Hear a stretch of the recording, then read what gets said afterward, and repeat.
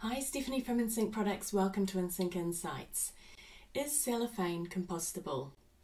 True cellophane is 100% biodegradable and compostable.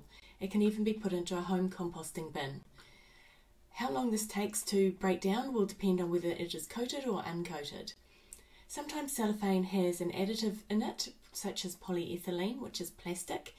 This is used to improve the durability, water resistance, and heat sealability of the bags. This will, of course, affect whether they are compostable. Cellophane is ideal for wrapping food. It has a great gas and aroma barrier and it is resistant to oil and fat. It's great for fast moving food lines. If you'd like to know more or see some samples, give us a call 0508 467 462.